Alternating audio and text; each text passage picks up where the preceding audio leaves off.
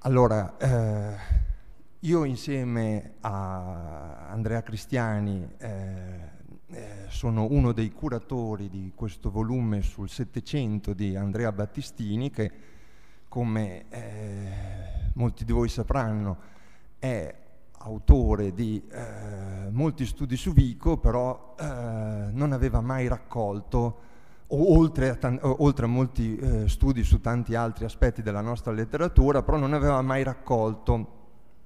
un eh, volume di studi sul Settecento nel suo complesso. E eh, dal momento che eh, il professor Battistini, come eh, chi di voi lo conosce, eh, detesta gli omaggi accademici e ci ha fatto capire che non avrebbe gradito una eh, miscellanea degli studi in onore di, eh, abbiamo cercato appunto di eh, rendergli omaggio cercando di fare cosa grata a lui in particolare eh, in occasione di eh, un appuntamento importante come i suoi 70 anni e soprattutto la sua nomina a professore emerito della nostra alma mater dove Battistini ha insegnato come ordinario dal 1984 al eh, 2017, e abbiamo pensato appunto che un umile omaggio potesse essere quello di eh, raccogliere i suoi studi sul Settecento, costruire un libro eh, rendendo eh, giustizia a un ambito che eh, non figurava tra le sue monografie, sapete tutti, autore di volumi su, non solo su Vico, ma sul barocco, eh, su Dante, eh, sui rapporti tra letteratura e retorica. Non sta a me adesso ricordare ovviamente i molti meriti eh, di Andrea Battistini. Ecco, e quindi inizialmente la nostra idea era provare a raccogliere i suoi studi sul Settecento, però il numero complessivo delle pagine sarebbe eh, andato vicino alle 3.000 pagine, noi abbiamo pensato eh, a questo punto di bussare alla porta direttamente del festeggiato e il festeggiato ha di fatto eh, ci ha dato un elenco di 15, di 15 saggi che costruiscono un, un, profilo meraviglioso e a tutto tondo eh, del Settecento nel suo complesso. Ecco, eh, la nostra è, una, è, stata un'opera servile nel senso nobile, neutro del termine e ehm, eh, per cui sia io sia eh, l'altro curatore, Andrea Cristiani, eh, ci siamo proposti anzitutto di ritagliarci questo spazio che è semplicemente di servizio e eh, oggi in questa presentazione lasciamo ad altri, ben più titolati di noi, il compito di presentare questo eh, meraviglioso ritratto di un secolo e eh, il, il, questo arduo compito è stato affidato, li ringraziamo per essere solo sobbarcato, a eh, Corrado Viola e eh, Arnaldo Di Benedetto. Corrado Viola, che eh, parlerà per primo, è eh, un eh, esperto in particolare di questo secolo e mm, eh, dopo, eh, adesso insegna letteratura italiana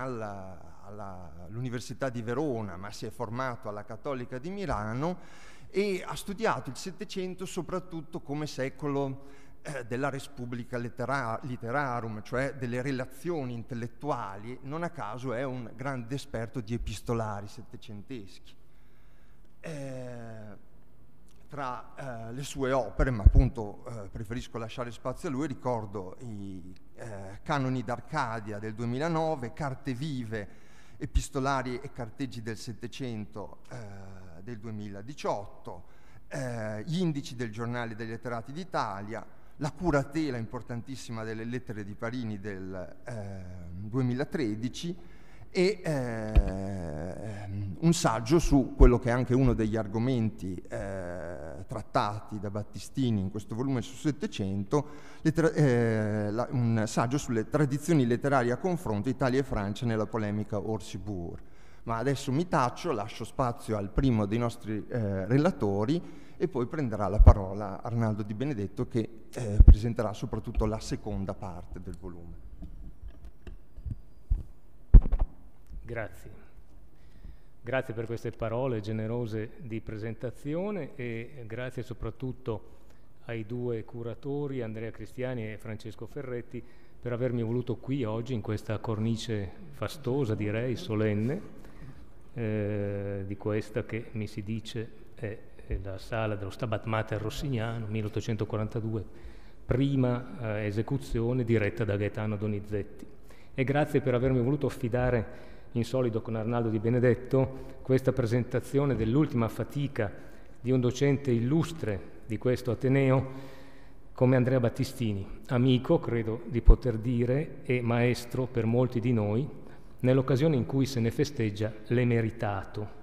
Segnale felice, come notano giustamente i due curatori nella loro premessa, provvida concomitanza di un meritato traguardo accademico e di un'ulteriore tangibile prova, se mai ce ne fosse bisogno, di inintermessa operosità scientifica.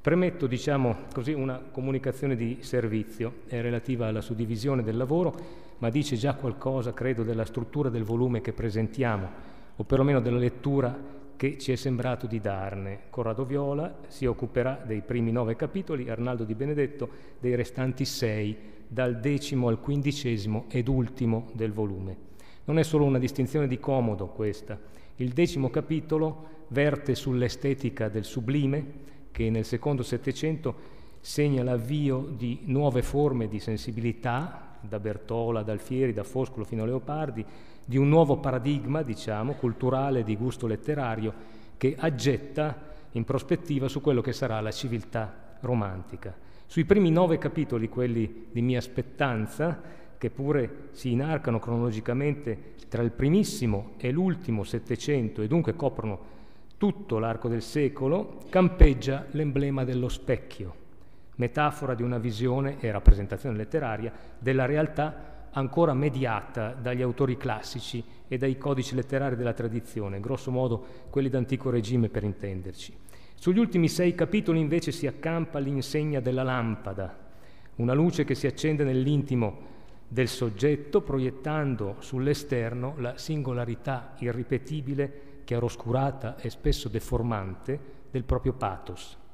Appunto lo specchio e la lampada si intitola il decimo capitolo, quello che avvia questa seconda parte del volume, applicando al tema del paesaggio letterario fin dall'epigrafe questi due emblemi che dicevamo, gli stessi, eh, lo specchio e la lampada, che Meyer Abrams pose a titolo di un volume del 53 sulla teoria romantica la tradizione critica, ma di questo meglio di me parlerà senz'altro Arnaldo Di Benedetto. Ancora due osservazioni preliminari sugli aspetti, per dir così, esterni del volume, esterni ma poi non troppo. La prima, i saggi raccolti, dicevo, sono 15, pubblicati in varie sedi, per lo più riviste o collettanee, tra il 1990 e il 2016. Il libro vale dunque anche come una testimonianza cospicua per dimensioni, sono circa 400 pagine, e per rilievo, come mi auguro di poter mostrare, della dedizione di Battistini al Settecento e del contributo da lui recato alla comprensione di questo secolo cruciale in questi ultimi 25 anni, o quasi 30 se si considera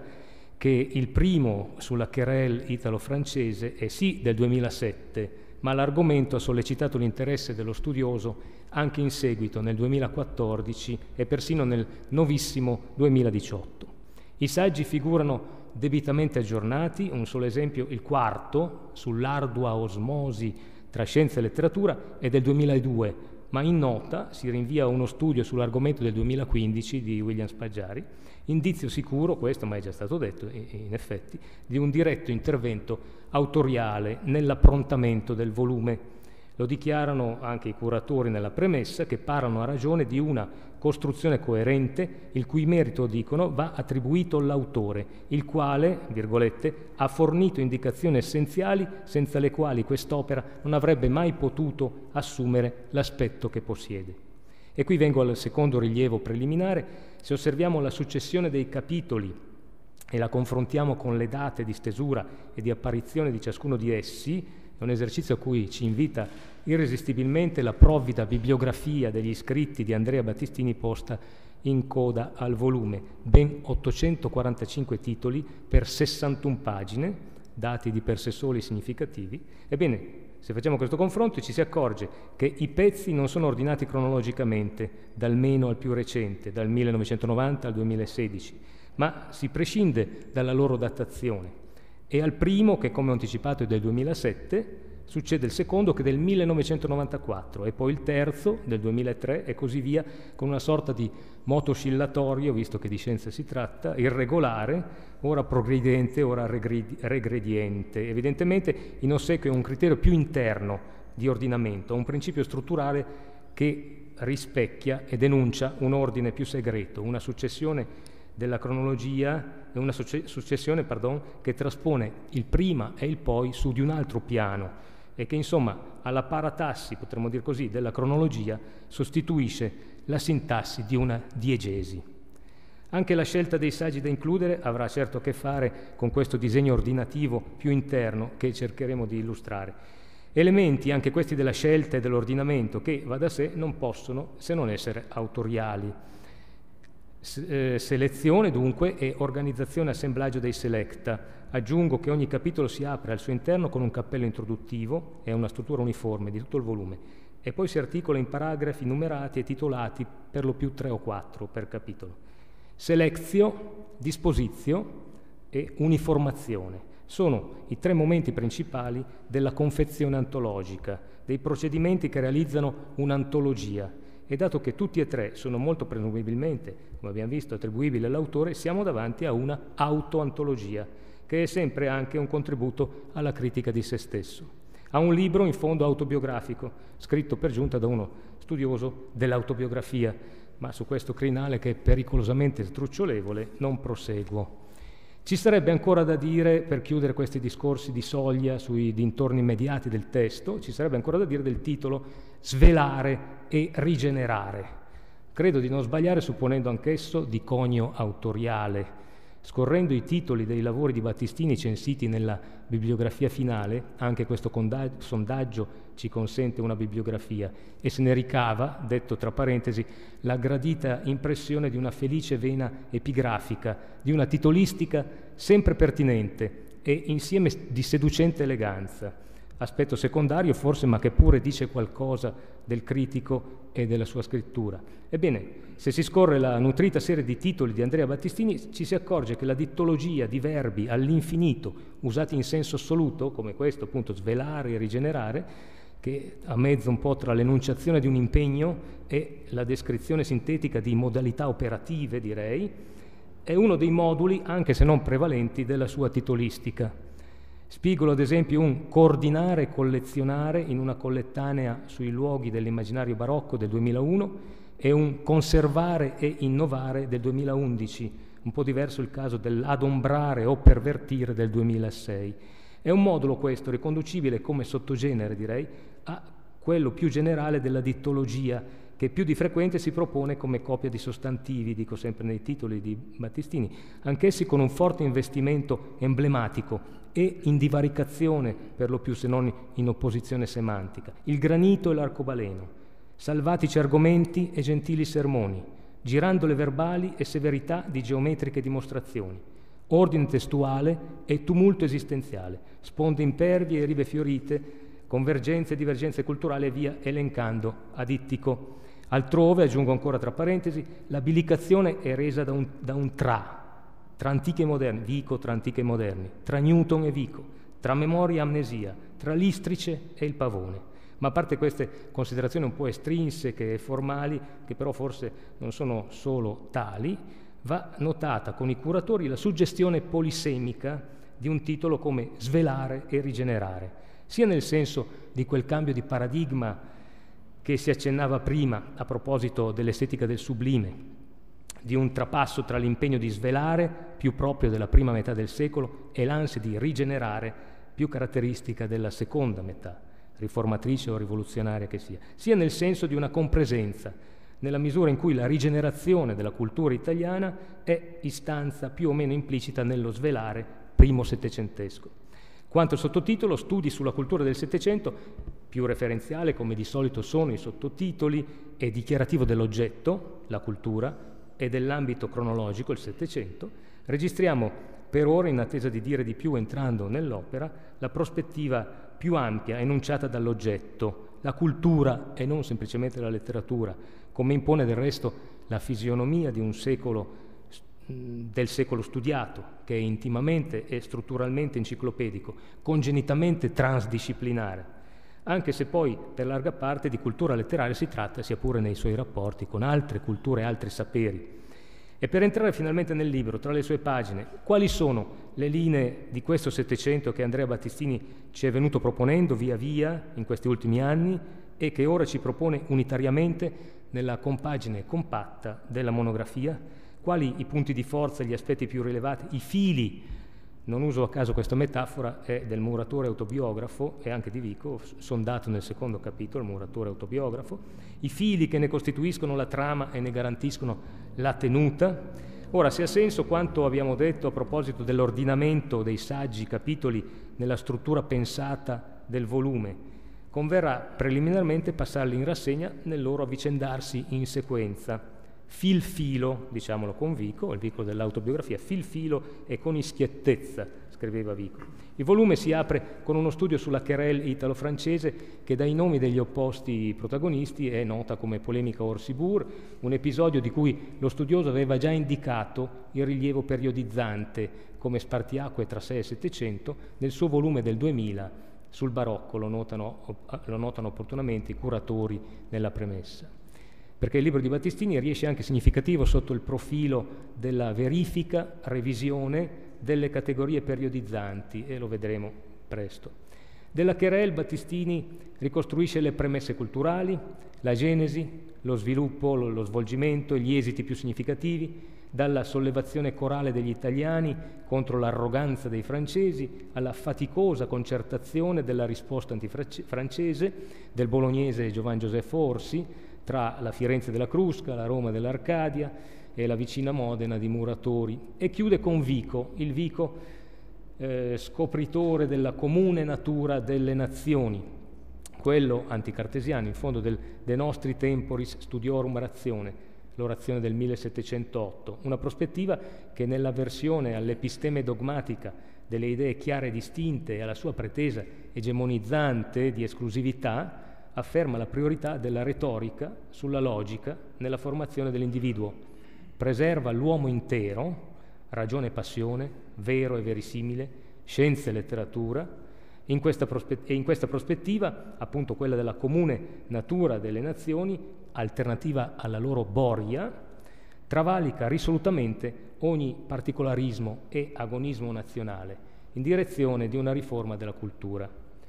Il secondo capitolo sonda un tentativo parallelo di riforma della cultura nazionale di primo Settecento, le progettate raccolte di autobiografie dei professori più insigni promosse per aprire gli occhi ad infiniti altri, scrive così Muratori, promosse da Bacchini, 1692, Muratori nelle riflessioni sopra il buon gusto del 15, al più fortunato Porcia, 1718-1721 di queste nuove istanze indica, Battistini indica le possibili ascendenze culturali per poi concentrarsi sull'autobiografia di Muratori, della quale rileva le caratteristiche, l'intrinseco teleologismo, ad esempio, che finalizza e così redime anche l'estrinseco, cioè le esperienze biografiche centrifughe, o le sottolineature etiche dell'impegno indefesso nello studio, dell'onoratezza, della pietà e del timore di Dio, e le rapporta queste peculiarità della vita muratoriana ad altre autobiografie modello, Cartesio innanzitutto, e la struttura e alle convenzioni del genere autobiografico. E finisce convocando confronto il Vico autobiografo, necessariamente ancora lui, eh, perché se Muratori lascia inedita l'autobiografia nel timore di essere tacciato di narcisismo, di impudente esibizione del sé, Vico si risolve a far stampare la propria per lui la posta in gioco, per Vico, la posta in gioco è più alta, significa un'occasione di proseguire il discorso del De Nostri Temporis Studiorum Razione, per una riforma del sistema educativo e insieme di ribadire un punto centrale della sua antropologia filosofica, ossia il parallelismo di ontogenesi e filogenesi secondo il principio del verum factum, un principio che si potrebbe forse dire, istituisce l'autobiografia come genere intimamente vichiano. E a Vico e alla sua autobiografia, conseguentemente, è dedicato il terzo capitolo. Della vita vichiana, Battistini sottolinea il teleologismo, tale e non altra riuscita è il titolo del capitolo. L'orientamento vettoriale ha un fine, parla Battistini di una semiretta in costante ascesa, fine che è poi la stesura della scienza nuova e il raggiungimento della fama tra i dotti, e lo fa ancora una volta attraverso una serie di parametrazioni e confronti, con Giannone che gli permette di enucleare due forme di autobiografia, quelle che pongono una cesura anche drammatica tra due fasi radicalmente diverse, un prima e un poi, prima e dopo la condanna della Chiesa per Giannone, e quelle, come la Vichiana, che distendono senza cesure la continuità di una vocazione-predestinazione e anche una parametrazione utile che fa Battistini è con il più simile Cartesio, che però a differenza di Vico annulla il proprio passato, ripudiandolo come erroneo, e lo annulla nella conversione dal tempo dell'errore al tempo della verità.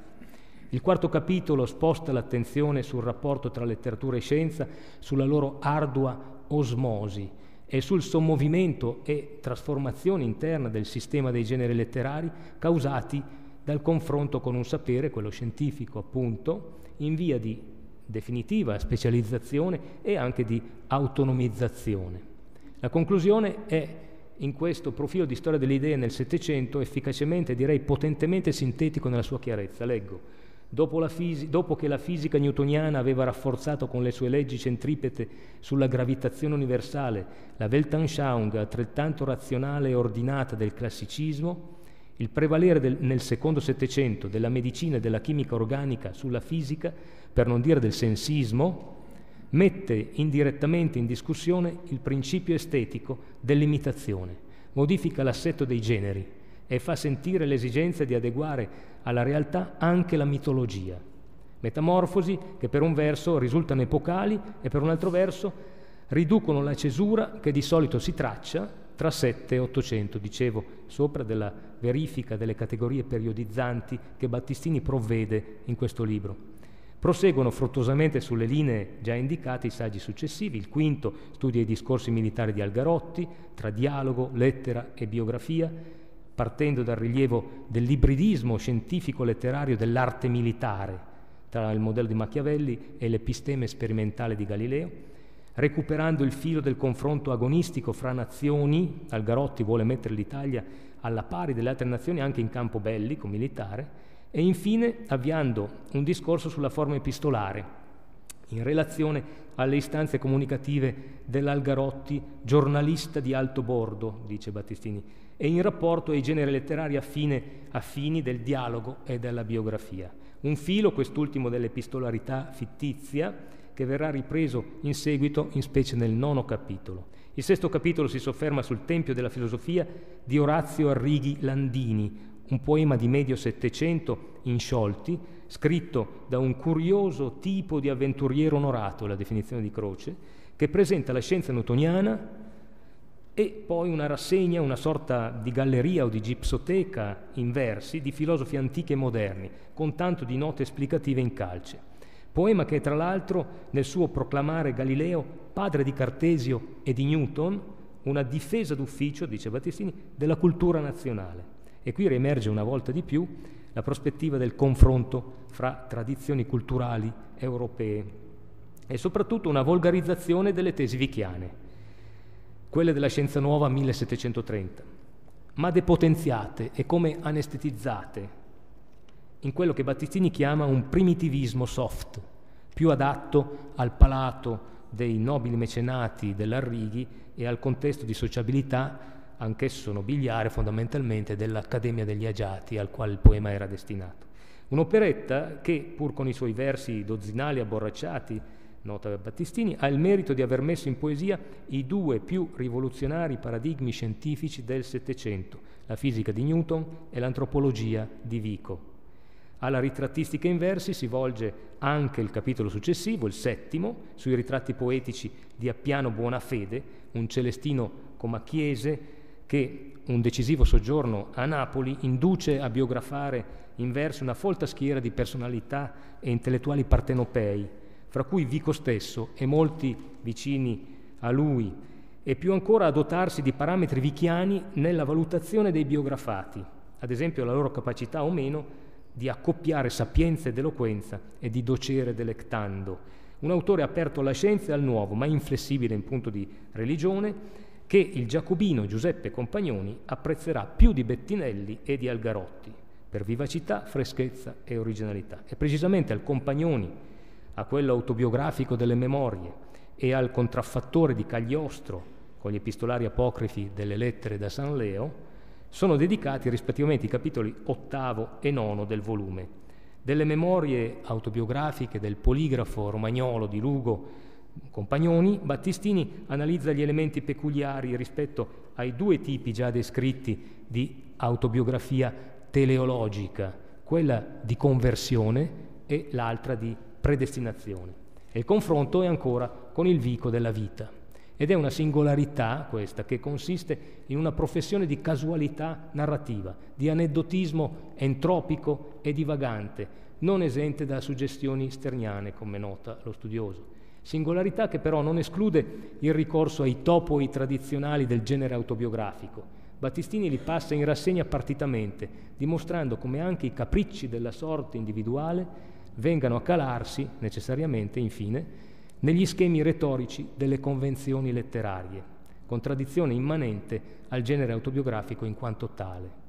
L'altro studio dedicato al Compagnoni indaga in modo senza meno appassionante, direi, un episodio paradossale della ricezione, o meglio della fortuna editoriale, del celebre conte di Cagliostro, quello per cui il più solenne dei falsari del nostro Settecento, Cagliostro appunto, diventa a sua volta, post mortem,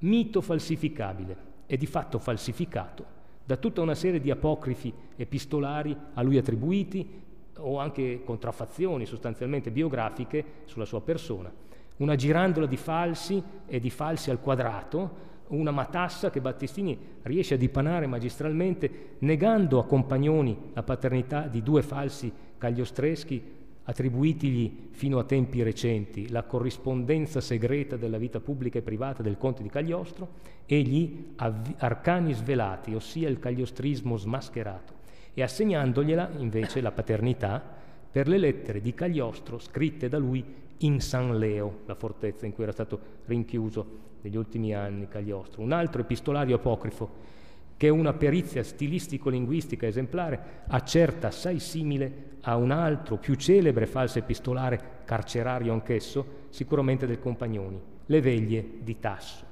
Ma non è tutto, c'è ancora un, un altro falso, un falso che si intitola Testamento di Cagliostro,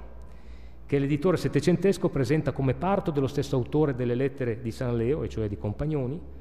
e un'analisi comparata dei due testi parrebbe perfino confermarlo, se non che lo stesso Compagnoni, ci avverte Battistini, ebbe a negare esplicitamente di esserne l'autore in una sua vita letteraria, un'autobiografia, un'altra ancora, dove non ha ragioni plausibili di mentire. E dunque quel testamento è doppiamente contraffatto, sto citando, perché non è né di Cagliostro né di Compagnoni. Lo studioso allora non può che riconoscere nella chiusa, ma con quasi divertita serenità direi, che come sempre avviene per tutte le vicende intricate, anche da questa dei falsi di Cagliostro, non è possibile diradare tutto il mistero, soprattutto se a parlare, cito ancora, è la voce ventriloqua della letteratura, la quale, teste Giorgio Manganelli, non è altro che sublime menzogna. Bene, chiudo qui, non spaventatevi, il resumé, che è un po' troppo costipato, temo, e forse troppo ravvicinato, troppo a ridosso del testo per consentirci la messa a fuoco di qualche persuasiva linea di fondo. Ad ogni modo, che non si tratti semplicemente di una raccolta di studi che attestano un interesse costante dell'autore per il Settecento, ma di un volume che del Settecento disegna una parabola, mi auguro che sia emerso con sufficiente chiarezza. Ma se così è, mi concedo, se ho ancora tempo peraltro, ancora una, una domanda conclusivamente. Quale, a libro chiuso, il suo polo d'attrazione ed orientamento più riconoscibile? Ora, pare a me che questo centro gravitazionale, per dir così, del volume, parlo naturalmente dei primi nove capitoli, ma forse non solo di questi, Pare a me che questo cuore pulsante abbia senza meno un nome preciso, un'anagrafe accertabile e determinata. Giambattista Vico. La sua presenza, e questo l'abbiamo visto, è ubiqua. Basta un semplice sguardo all'indice dei nomi finale per accertarsene. Vico è il più citato di tutti gli autori. Ma non si tratta solo di questo. Il nome di Vico occorre puntualmente a ogni snodo dell'indagine, sia frontalmente come oggetto privilegiato e diretto di analisi, sia e forse più lateralmente come termine di riferimento comparativo o di verifica del giudizio storico-critico. È con lui, con Vico, che in Italia la Grand Querelle riguadagna il piano alto di un confronto tra ancien e moderne, dopo che nel nostro spazio culturale era scaduta a Querelle des Nations. È lui, Vico, a dare alla letteratura nazionale quel modello di autobiografia teleologica, dicevamo, che funge da archetipo anche dove è ripudiato, per ogni successiva realizzazione, oltre che da cartina di tornasole per lo storico che le analizza, Compagnoni ma anche Alfieri, dodicesimo capitolo. E chissà, mi domando tra parentesi, da un altro punto di vista, e un po' rapidamente per non rendere troppo affollato il discorso proprio nella chiusa, chissà se è possibile per il Settecento ipotizzare un processo di autobiografizzazione qualcosa di analogo e parallelo al processo di romanzizzazione teorizzato da Bakhtin per l'Ottocento, per il quale dunque tutti i generi letterari settecenteschi, o una loro larga porzione, sono attratti dal genere egemone, l'autobiografia, o meglio da un complesso di generi affini, quelli egocentrati dell'autobiografia e della lettera magari, o meglio ancora dall'attitudine che essi esprimono, l'autobiografismo, un po' come quelli dell'Ottocento, sono attratti dal genere egemone, il romanzo, appunto, perché, e chiudo la parentesi, il libro di cui stiamo discutendo è anche, se non soprattutto, una storia dei generi letterari settecenteschi. Questi luoghi di incontro e talora di frizione tra retorica e storia letteraria, queste istituzioni del campo letterario che fungono da orizzonte di attesa per i lettori e da modelli di scrittura per gli autori. Chiusa parentesi.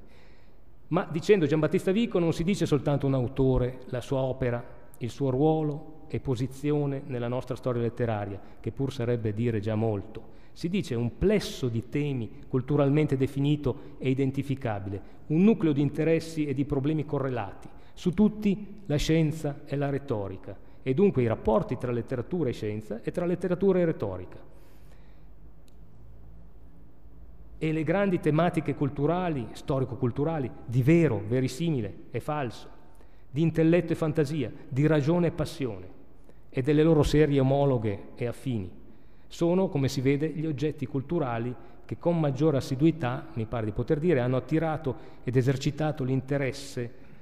di Andrea Battistini, sicché è forte la tentazione, e il festeggiato me, lo, me la perdonerà, spero, di indicare in Vico autore da cui Battistini esordì e su cui si laureò, se non sbaglio, il luogo seminale di tutti o molti dei suoi successivi interessi. Natura di cose, è sempre Vico a insegnarcelo, in una famosa degnità, non è che nascimento di esse in certi tempi e con certe guise. Grazie.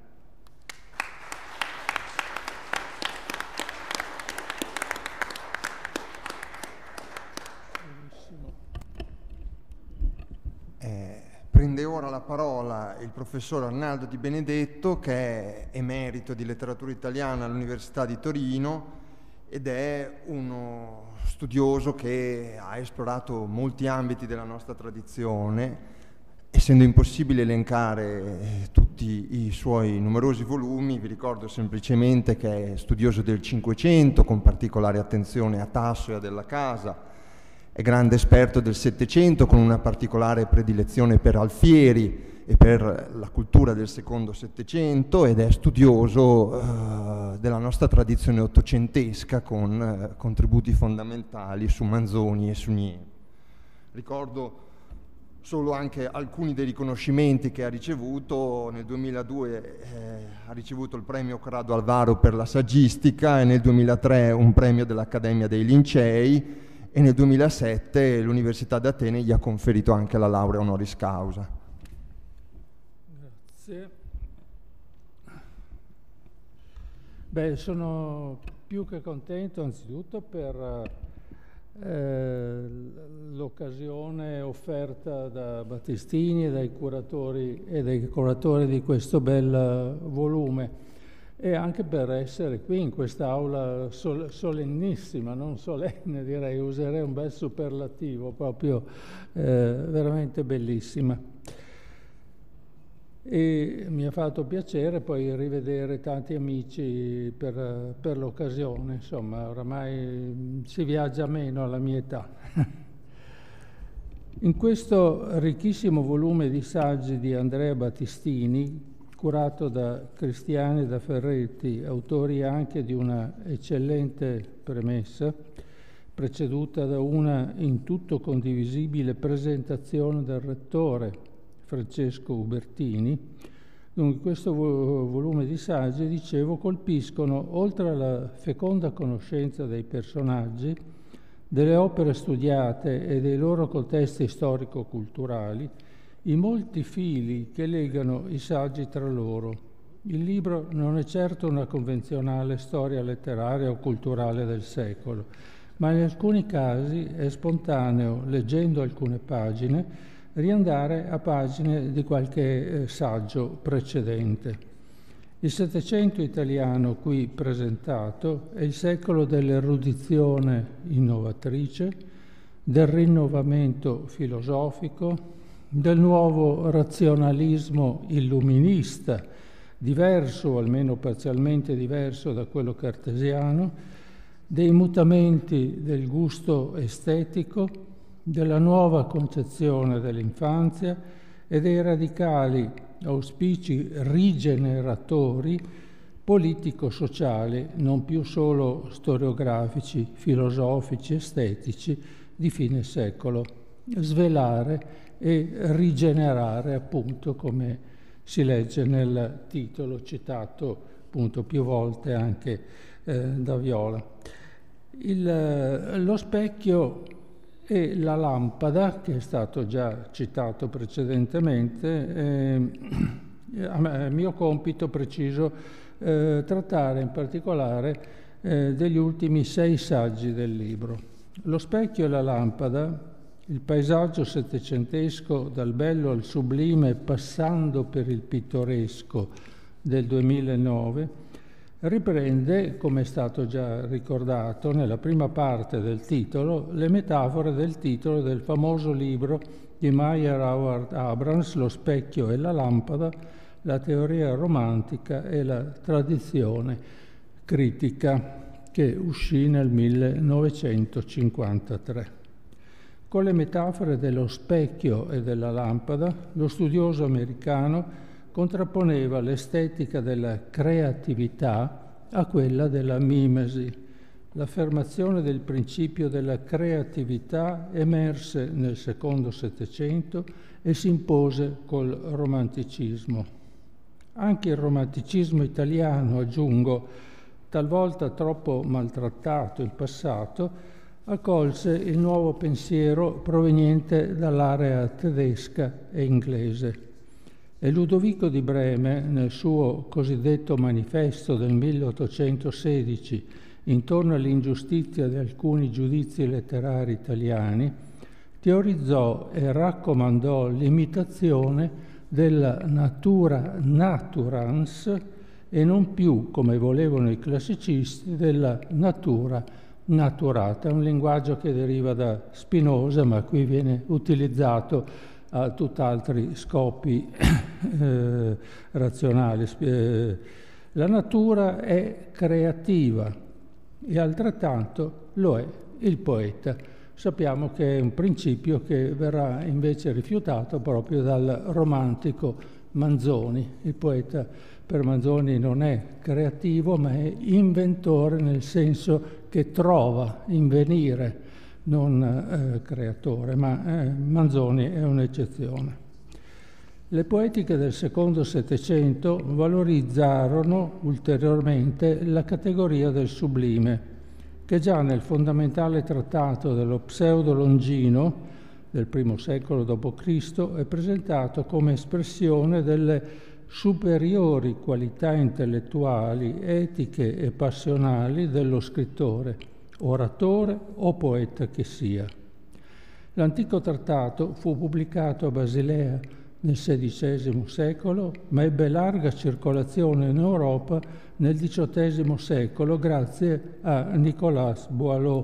che lo tradusse e che scrisse le riflessioni critiche su alcuni passaggi del Retore Longino, pubblicate postume un anno dopo la morte nel 1713. In quel secolo, il XVIII, fondamentali e innovativi scritti sul sublime si dovettero all'irlandese Edmund Burke, a Kant, a Schiller ma nello stesso Settecento fu teorizzata anche un'altra categoria, quella del pittoresco, che si distaccava dall'armonia idilliaca del bello. Inoltre il Settecento è anche il secolo della scoperta, si fa per dire naturalmente perché fu un'invenzione, il Settecento è anche il secolo della scoperta di Ossian, che accompagna l'invenzione del mito della poesia primitiva, il cui canone includeva con Ossian la poesia del Vecchio Testamento, Omero, Esiodo e talvolta anche Dante, che nel XVIII secolo ebbe ammiratori e detrattori, perché il Medioevo era ancora considerato in prevalenza un puro imbarbarimento e Dante si sarebbe collocato proprio all'uscita da quell'imbarbarimento. E a questo primitivismo non fu estraneo lo stesso neoclassicismo. Basti pensare alla predilezione nell'ambito architettonico per la colonna dorica, semplice e maestosa. La dottrina settecentesca del sublime ebbe effetti anche in Italia. Battistini cita un brano del Trattato dell'entusiasmo delle belle arti del 1769 di Saverio Bettinelli, dove il gesuita mantovano racconta di una sua ascesa sul Vesuvio. Vesuvio era diventato una meta importante per molti viaggiatori eh, in Italia. La pagina di Bettinelli è dominata dall'entusiasmo, nominato già nel titolo, e dal timore insieme, entusiasmo e timore. Il paesaggio è grandioso e inquietante. Questi sono appunto elementi fondamentali proprio del sentimento del sublime. Lo stato d'animo è pieno di grandezza e di maestà non mai più sentita del Vesuvio in eruzione, Bettinelli aveva già scritto nel poemetto Le raccolte del 1752. Battistini cita anche un bel passo della lettera datata 2 aprile 1765 dei viaggi attraverso la Francia e l'Italia di Tobias Smollert sulla cascata delle Marmore che produce, scrive Smollett, uno spettacolo di tremenda sublimità. Notiamo c'è la parola spettacolo, da un lato si guarda sapendosi al sicuro, ma nello stesso tempo ciò che viene guardato incute tremenda sublimità, cioè grandiosità e insieme un certo eh, timore. Una descrizione molto meno imponente ne aveva fatta un sessantennio prima, ricorda sempre Battistini, Joseph Edison. Anche le cascate di Tivoli, mi si consente una piccola divagazione, stimolarono molti pittori e incisori nel Settecento e nell'Ottocento e il Settecento è il secolo che cambia la visione delle Alpi. Prima erano un fastidioso e pericoloso eh, eh, punto diciamo, d'obbligo, passaggio d'obbligo per chi doveva eh, spingersi a nord o da nord scendere a sud. Poi a partire dal poemetto di Alpen, le Alpi di Albrecht von Haller e da alcune pagine della novella Eloise di Rousseau diventarono la meta spettacolare e grandiosa di molti viaggiatori. E più tardi, nel XIX secolo, nacquero l'alpinismo e il turismo alpino, pittoresco e sublime talvolta sconfinavano l'uno nell'altro. Al centro del saggio Bertola è la sensibilità pittoresca della linea serpentina del 2000 è il viaggio sul Reno e nei suoi contorni del 1795. L'opera certo più apprezzata con l'idea della bella letteratura alemanna e con le traduzioni da Gessner e l'elogio di Gessner di Aurelio De Giorgi Bertola. Con la ricca cultura che gli è propria, Battistini coglie all'inizio del proprio saggio un'allusione contenuta nelle prime pagine del viaggio sul Reno al famoso trattato del pittore e incisore inglese William Hogarth, L'analisi della bellezza, che uscì nel 1753 e pochi anni dopo fu già tradotto in italiano. Movimento, incostanza, eclettismo, animazione, intreccio sono termini che possono caratterizzare positivamente il gusto di Bertola, gusto che può rientrare nella categoria del pittoresco, un termine quest'ultimo del resto ben presente nel linguaggio di Bertola. La linea curva, la linea serpentina teorizzata da Hogarth, mostrano un orientamento lontano dal bello ideale classicista, Improntato al pittoresco, alla serpentina, è il paesaggio renano presentato nel viaggio nelle diverse ore della giornata, nelle diverse stagioni, e seguito nei mutamenti del corso del suo grande fiume, del quale Alfieri coglierà piuttosto il sublime, e arricchito delle rovine, il paesaggio renano, arricchito delle rovine caratteristiche del gusto paesistico del tempo, che tra l'altro caratterizzarono anche il settecentesco e ancora ottocentesco giardino all'inglese. I tre viaggi successivi, i tre saggi successivi trattano di aspetti importanti dell'opera di Vittorio Alfieri. Eh,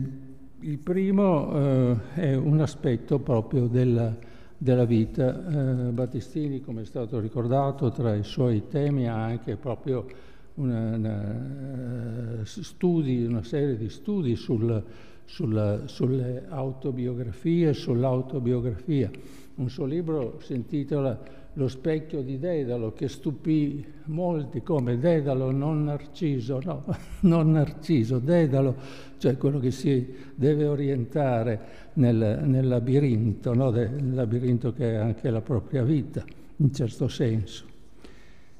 Dicevo, il primo dei tre saggi alfieriani è intitolato Il bambino e l'adulto nella vita di Alfieri, continuità o frattura ed è del 2004. Nel secondo Settecento si ha un mutamento di impostazione nelle autobiografie, certo anche per l'influsso delle confessioni e dell'Emile di Rousseau rispetto alle autobiografie del primo Settecento. Queste ultime del primo Settecento erano volte a ricostruire narrativamente il percorso intellettuale di eruditi e filosofi. Il corso della vita è rappresentato come un continuo sviluppo e accrescimento intellettuale. Nell'autobiografia di Vico, di cui Battistini tratta in un saggio precedente contenuto nel libro,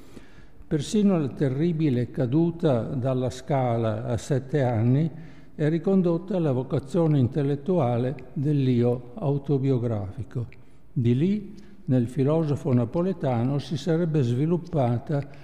parole di Vico, la sua natura malinconica ed acre.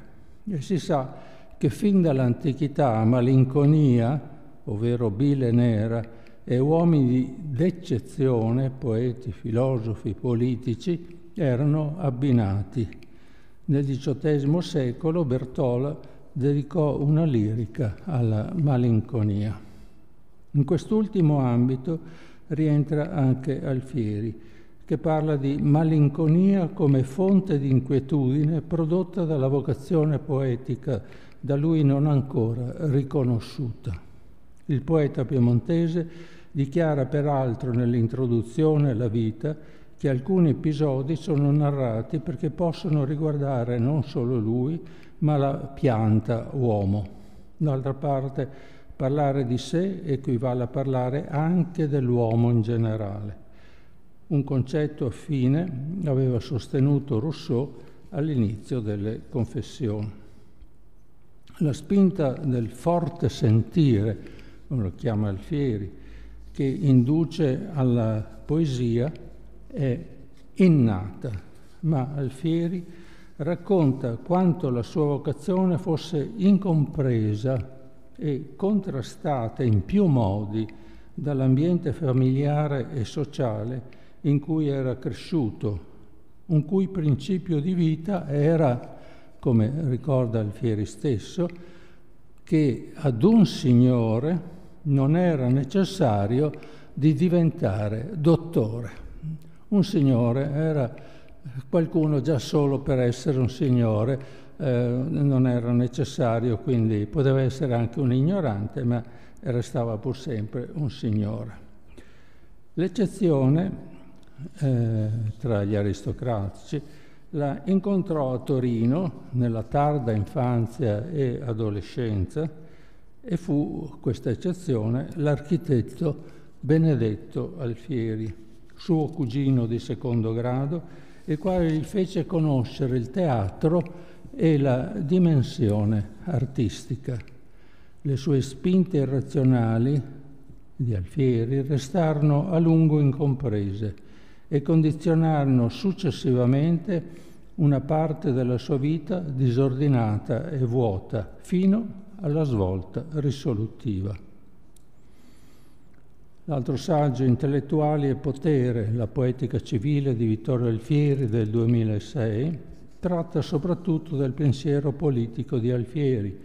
dell'uso che ne fecero i rivoluzionari francesi e i cosiddetti giacobini italiani quando ormai Alfieri aveva voltato le spalle alla rivoluzione francese, come fecero del resto anche altri intellettuali europei. Il poeta aveva predicato il distacco dei letterati dal mecenatismo dei principi, a differenza degli artisti figurativi che per esprimersi hanno bisogno di laute commissioni, ai poeti basta poco per dar voce al proprio ruolo. È vero che da un lato, anzitutto in Inghilterra, si diffondeva allora l'idea dello scrivere come mestiere, dello, scri- dello scrittore che viveva della vendita dei propri libri, ma Alfieri rifiutò questa soluzione. D'altro lato, Alfieri ritenne che il letterato, in particolare il poeta, dovesse essere economicamente autosufficiente e solo gli aristocratici potevano trovarsi in questo stato. Ma doveva formarsi, così auspicava, una classe di aristocratici colti e lontani dalle corti. Questi sarebbero, parole di Alfieri, i pochi aristocratici che non si lasciano proteggere ai quali fu dedicato il secondo libro del Trattato del Principe e delle Lettere. Da loro sarebbe dovuto scaturire un giorno un diffuso anti-assolutismo. In questa posizione Alfieri conferma la propria insofferenza antimonarchica. Il mito settecentesco del monarca illuminato, per molti filosofi rappresentato dal re di Prussia Federico II o da Caterina di Russia, è da lui liquidato senza incertezze. E tirannica per lui è non solo la monarchia assoluta, ma anche la repubblica oligarchica, Venezia, Genova. La monarchia costituzionale, come quella inglese e di alcuni paesi del nord, era invece per lui una forma di repubblica. Nello stesso tempo, appellandosi agli aristocratici perché intraprendessero la rigenerazione politica, Alfieri si manifestava contemporaneamente inguaribilmente, come disse Goethe, stock aristocratico, si potrebbe dire aristocratico tutto d'un pezzo. Alfieri che pure aveva una certa stima eh, di lui, che fece tradurre il Saul, lo fece rappresentare quando eh, uscì la, la, vita di Alfieri, il raccomandò ad alcuni amici come libro da leggere. L'italianista Norbert Jonat, come ricorda Battistini, lo definì da parte sua un sostenitore dell'aristocrazia degli intellettuali. Il saggio Vittorio Alfieri, Le mosche francesi e le api inglesi del 1990 prende spunto da uno dei tanti testi scritti dal poeta sulla rivoluzione francese. Dalle sue lettere emerge che in un primo tempo Alfieri, allora residente a Parigi, sembrò indifferente a ciò che andava maturando intorno a lui. Era preso dall'edizione di alcune opere, avviata nel 1787 e affidata alla tipografia il, installata da Beaumarchais a Kehl am Rhein, a due passi da Strasburgo, per pubblicare tutte le opere di Voltaire sottraendole alla censura francese. Inoltre, nel 1787-89, Alfieri stampò a Parigi presso Didot la nuova e definitiva edizione delle sue tragedie. In realtà, il poeta fu poi coinvolto nelle vicende rivoluzionarie, in un primo tempo condivise e poi osteggiate. Un frutto del coinvolgimento fu la favoletta Le mosche e l'api del 1789, dove alle mosche, cioè i francesi, sono positivamente contrapposte le api, gli inglesi. E questa la correzione, il contravveleno, come eh, Alfieri si esprimerà poi, della precedente opera, della precedente ode, Parigi sbastigliato, dello stesso 1789, la quale ode aveva invece presentato positivamente la rivoluzione francese, dandola inoltre per felicemente conclusa. La visione negativa della rivoluzione portò il poeta ad accentuare la sua anglofilia politica. Malfieri coltivava in sé una speranza, che gli italiani si svegliassero per giungere a un sistema politico superiore anche a quello inglese. Tali speranze lette come profezia, promossero Alfieri a padre del risorgimento e del nazionalismo, nonché più tardi, ahimè, a precursore anche del fascismo. Ma a quest'ultimo proposito non mancarono le interpretazioni contrastanti, dall'Alfieri liberale di Gobetti all'anarchico di Umberto Calosso, all'Alfieri riscoperto, come ricorda Battistini, da alcuni letterati durante la Resistenza. Giacomo De Benedetti scrisse il suo Vocazione di Vittorio Alfieri tra l'ottobre del 1943 e il maggio del 1944. L'ultimo saggio del libro, non più alfieriano, eh, è miti di rigenerazione e culto letterario della giovinezza al tempo della Rivoluzione francese del 2003,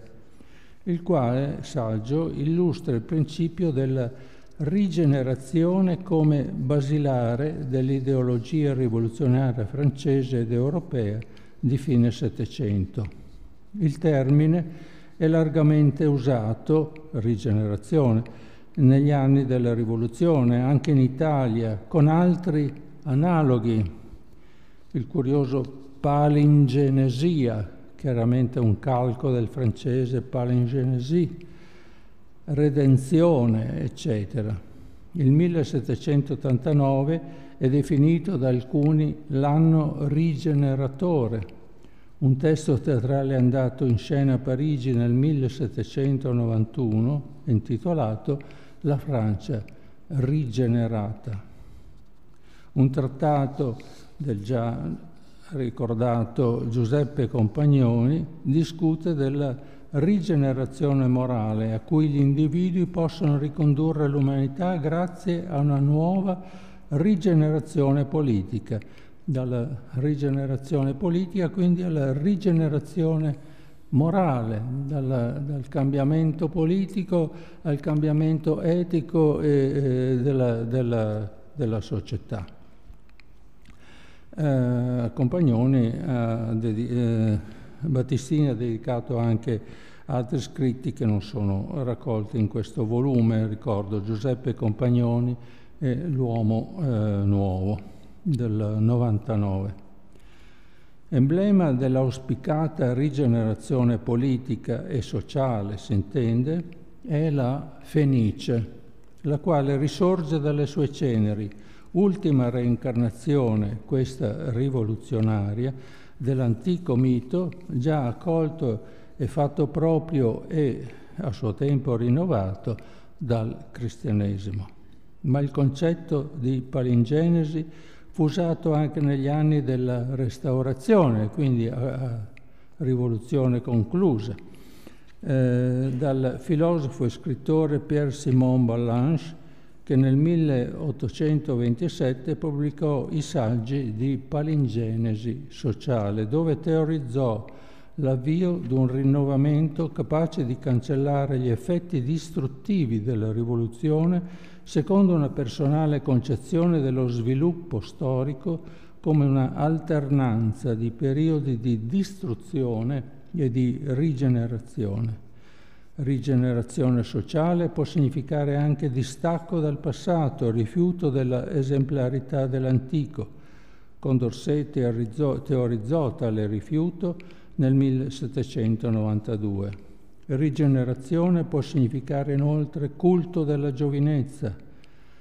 Les hommes nouveaux, eh, gli uomini nuovi, è, appunto, eh, sono le prime parole del titolo del trattato di compagnone a cui ho alluso eh, prima, eh, do, eh, dove si parla anche di una nuova rigenerazione politica. Esaltatore della giovinezza, Fu lo scienziato e pensatore svizzero, buon conoscitore di Rousseau, Johann Georg Zimmermann, al quale Battistini dedica pagine illuminanti. L'inquietudine giovanile, animata da uno spirito di rivolta, è alla base di personaggi letterari come Werther e come Jacopo Ortis, personaggi contestatori che giungono al suicidio, un suicidio aggiungo molto moderno quello di Werther, il quale si uccide con la pistola, un suicidio da eroe alfieriano, quello di Ortis, che usa il pugnale. Grazie infine al caro professore emerito Andrea Battistini per averci arricchiti negli anni con questi e con non pochi altri saggi e curatele testuali e per continuare ad arricchirci tuttora generosamente. Grazie.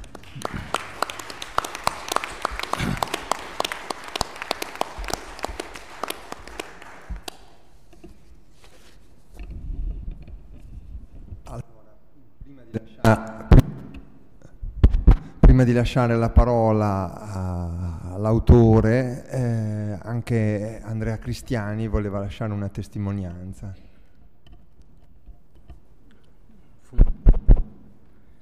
Allora, intanto volevo preliminarmente ringraziare tutti i presenti e poi ringraziare soprattutto l'amabile cortesia della direttrice del, dell'archiginnasio, la dottoressa Anna Manfron,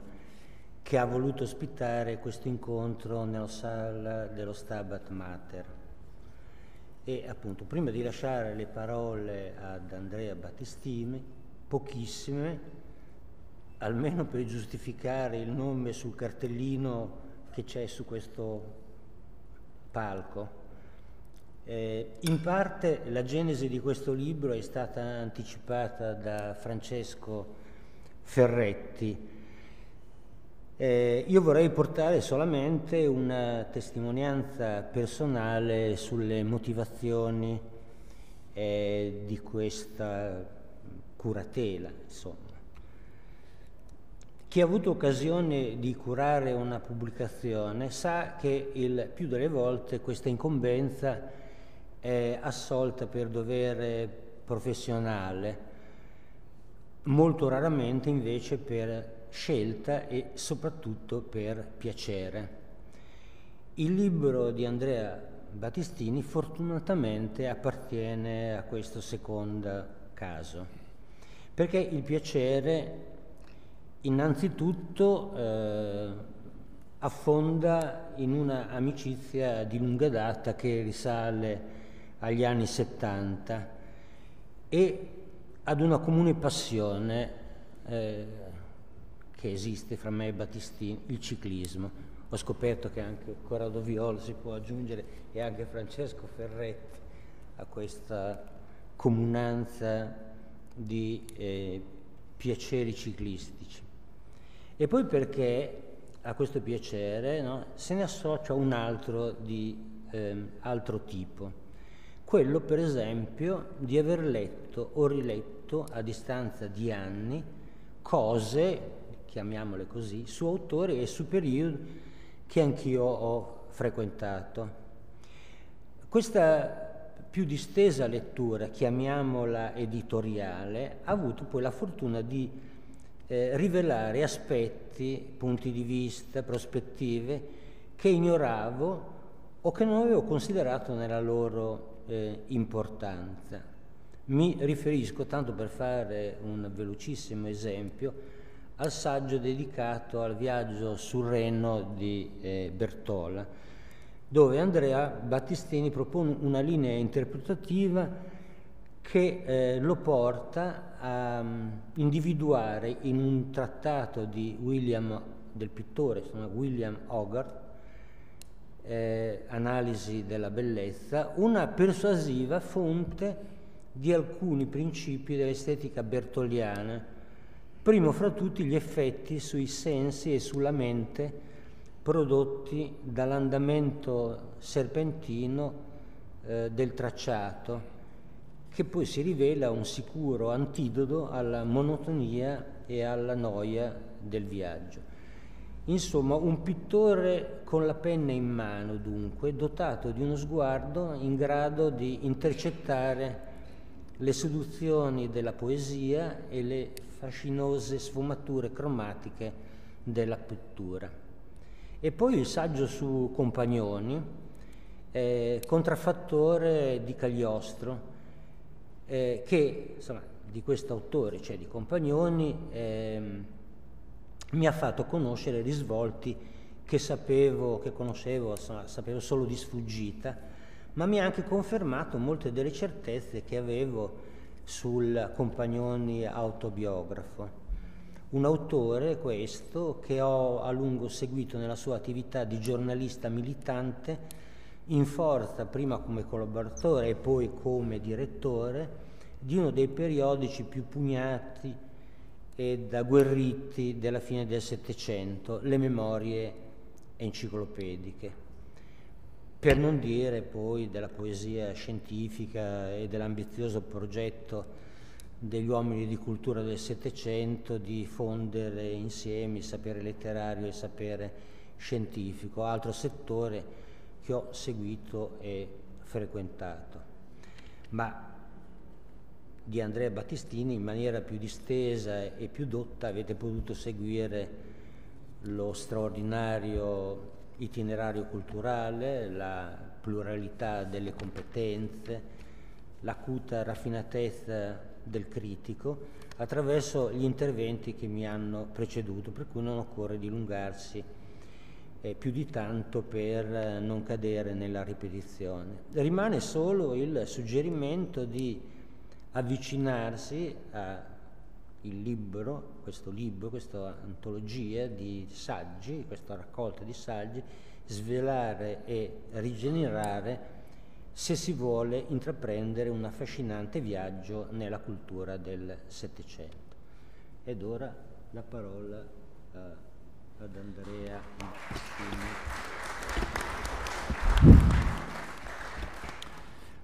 Ma ehm, qualcuno sa che io in linea di principio sono contrario, o meglio, non sono troppo favorevole alle presentazioni, anche se ne ho fatte un certo numero. Questa volta però devo dire che eh, mi devo ricredere, nel senso che mi fa molto piacere, mi ha fatto molto piacere questa eh, presentazione, magari in buona parte per ragioni narcisistiche, si è parlato di me, essendo la presentazione un genere epidittico se ne è parlato bene, eh, non ho mai sentito una presentazione dove il presentatore parlava male del libro in oggetto e questa è la ragione per cui ho qualche dubbio sulla, sulla attendibilità del genere presentazioni, ma eh, eh, al massimo posso dire che avrà fatto velo eh, a me favorevole l'amicizia dei presentatori, per cui eh, è un fatto positivo anche che abbiano parlato bene di me. Eh, certo, eh, con questa presentazione devo dire è, è, caduto un mio primato,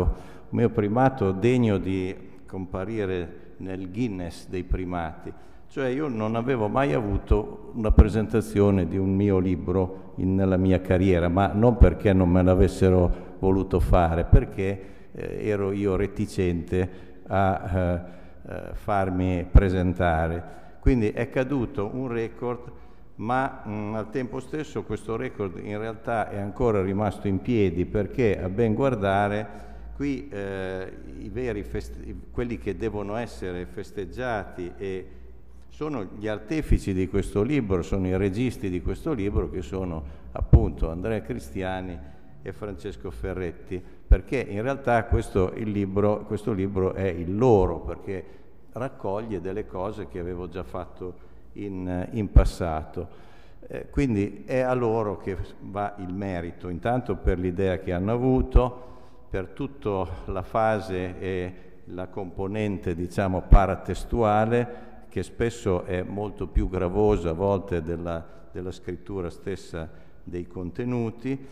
e la cosa mi fa molto piacere appunto poter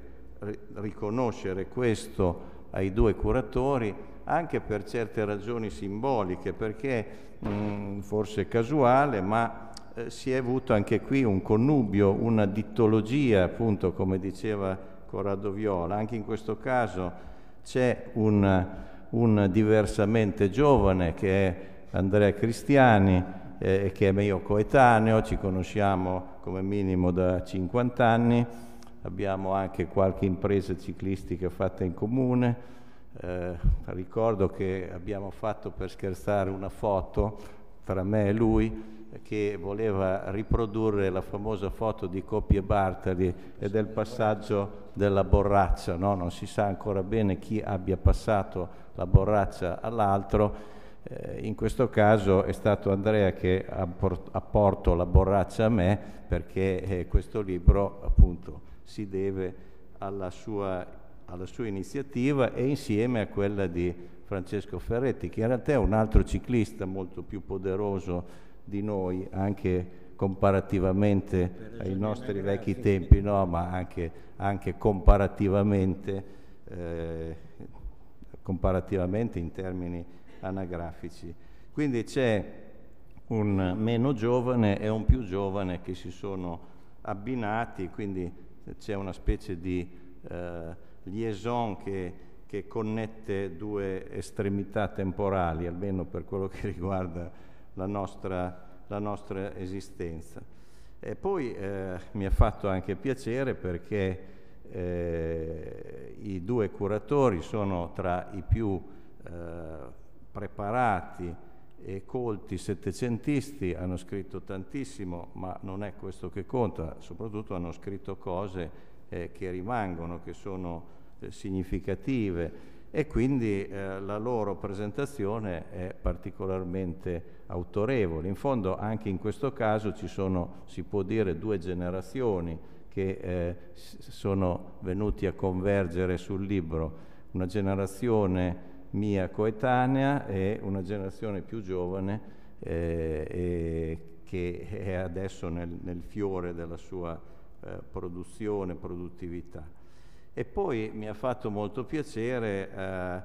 anche perché eh, questa presentazione è stata l'occasione di rivedere tante persone. Io ringrazio veramente eh, di cuore eh, tutti i presenti eh, e ricordo in particolare quelli che sono venuti da fuori, che sono venuti prendendo il treno, eh, si sono scomodati eh, per me e quindi io sono molto grato a loro, intanto per la, so- la loro presenza, ma anche per il fatto che in questo modo ci hanno permesso, han, hanno permesso a me di, eh, di eh, rivederli con, con, molto, con, molto, piacere. Eh, ringrazio infine la dottoressa Manfron che eh, non ha avuto nemmeno bisogno di essere richiesta, qui si è eh, riproposta la, la, la scena di, di, Dante con Can Grande della Scala, è stata prima la, la, la, lei a offrire a noi la sala che non noi a doverla chiedere, quindi è stata più rapida la persona che dava di quella che andava a chiedere e quindi la, la ringrazio eh, non solo per aver messo a disposizione eh, la sala ma anche per lo stile con cui eh, questa sala ci è stata eh, concessa. Eh, per il resto mi sembra che non sia più il caso di continuare entrando nel discorso diciamo, culturale perché eh, l'hanno fatto adeguatamente eh, sia Corrado Viola sia Arnaldo Di Benedetto, certamente hanno colto i, i punti eh, cruciali del, del discorso.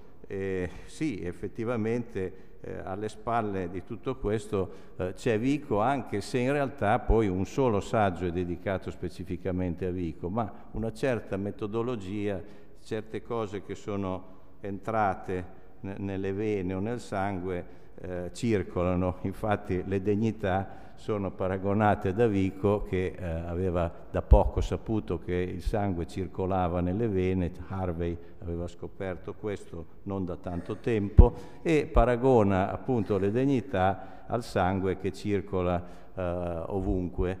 E, ma in effetti questo eh, può, può essere una presenza lontana eh, c'è anche una presenza molto più vicina, so, soprattutto vicina, diciamo così, nel cuore, visto che si parla di sangue e di vene, che è la presenza di Ezio Raimondi, perché eh, se eh, è vero quello che dice Vico e che giustamente ha ricordato Corrado, cioè natura di cose, altro non è che nascimento di esse in certi modi e con certe guise, eh, io ho cominciato a eh, lavorare su Vico grazie a Ezio Raimondi. Da notare che Raimondi ha scritto su tutto e di tutti, forse l'unico autore nelle sue mille e più pubblicazioni su cui non ha mai scritto niente è stato Vico. E però quando io andai a eh, proporre questo tema di, di laurea, Raimondi, come sempre, eh, sempre disponibile e generoso, non ha battuto ciglio, ho detto va bene, eh, senz'altro. Eh, e questo è un tratto che mi piace ricordare. Ci sono eh, colleghi che assegnano soltanto tesi eh, relative al loro argomento settoriale che eh, coltivano da una vita, ma ci sono anche sono anche maestri come appunto è stato Raimondi che eh, non ha mai detto di no a nessuno eh, e a nessuna proposta di tesi. E allora fu in fondo questo, questo particolare, il fatto che Raimondi abbia accettato questa proposta, se poi io ho continuato a, a coltivare eh, questo autore, allargando sempre un po' alla volta eh, l'orizzonte al, al Settecento. Non mi rimane altro che ringraziare ancora tutti per, questa, per questo pomeriggio eh, ringraziarli anche per il disturbo che si sono presi nel venire perché eh, è sempre un, un tempo impiegato eh, per, per, qualcun altro, in questo caso per me, e quindi sono grato del dono che tutti mi avete fatto venendo qua. E grazie.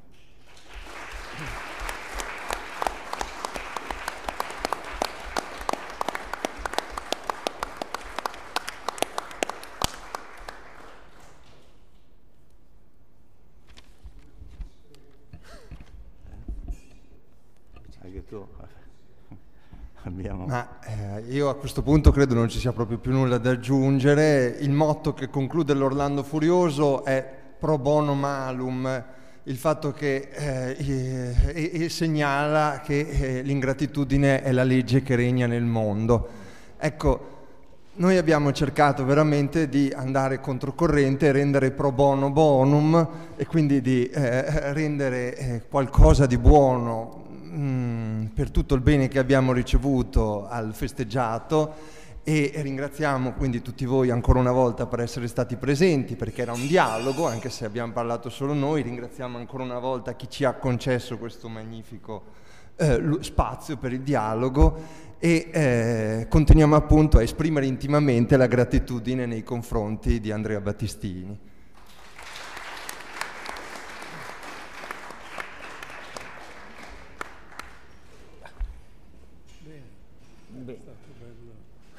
No, è stato bello, grazie a voi.